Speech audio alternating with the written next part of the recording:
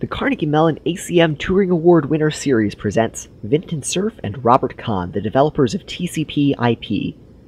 Vinton Cerf was born on June 23, 1943, in New Haven, Connecticut. His interest in computers started in 1958, when Cerf entered Van Nuys High School in Los Angeles and happened to meet a young man named Steve Crocker. Crocker had gotten permission to use UCLA's Bendix G15 paper tape computer, and the two friends often spent their weekends programming at the university. But this was not the only reason Cerf became interested in computing. At age 9, Cerf began to suffer from hearing loss, and he started to view technology as a leveler for hearing impaired people. In 1965, Cerf received his BS in math from Stanford, going on to work at IBM for two years before returning to UCLA for his MS and PhD in computer science. Robert Kahn was born on December 23, 1937, in Brooklyn, New York. His father's work often kept him away from his family, and his mother battled massive heart issues while Bob was growing up. Despite the difficulties at home, young Kahn was so bright that he was still able to complete his high school's accelerated program in just three years. He received a Bachelor's of Electrical Engineering from the City College of New York in 1960, and he received his first serious exposure to computers while developing statistical simulation programs in Fortran for Bell Labs. After receiving an NSF fellowship, he went to Princeton to earn his MA and PhD in electrical engineering. Shortly thereafter, he left an assistant professorship at MIT to work for the firm of Bolt, Beranek, and Newman, or BBN. In 1969, Cerf and Kahn met at UCLA while testing the ARPANET, the first major development of the Internet.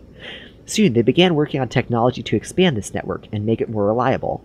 In 1977, they finished developing TCP/IP, Transmission Control Protocol slash Internet Protocol.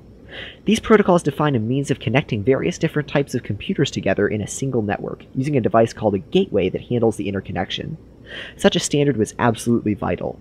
Imagine if today we had to have different internets for every different operating system or piece of networking circuitry.